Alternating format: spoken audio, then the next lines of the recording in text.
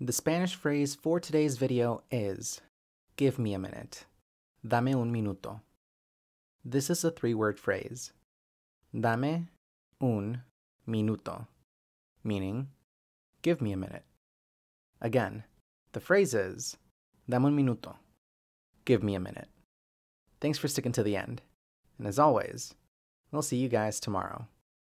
Bye.